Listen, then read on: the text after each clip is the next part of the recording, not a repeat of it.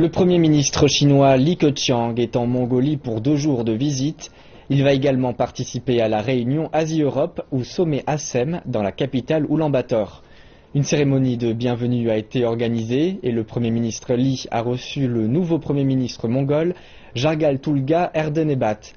Il s'est également entretenu avec le président du pays et le président du Parlement. Une série d'accords de coopération dans les domaines du commerce, de l'infrastructure, de la finance, de l'énergie, du changement climatique et des échanges médiatiques sera signée.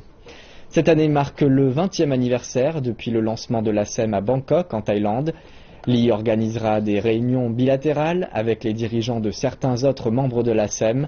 Il s'agit de la première visite de Li Keqiang depuis son entrée en fonction en tant que Premier ministre en 2013 et la première visite d'un Premier ministre chinois dans le pays depuis six ans.